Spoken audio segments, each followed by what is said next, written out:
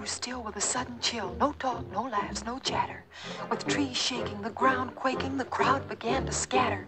Out of his lair came the third bear with murder in his eyes.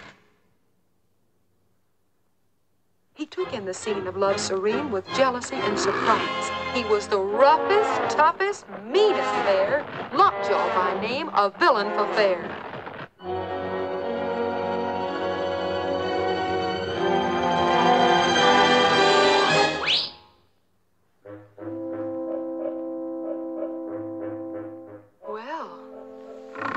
What's this?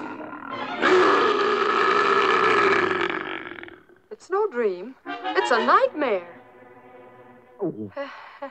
Hello, was all Bongo could say. Hmm. Kind of unfriendly. Probably doesn't know who I am.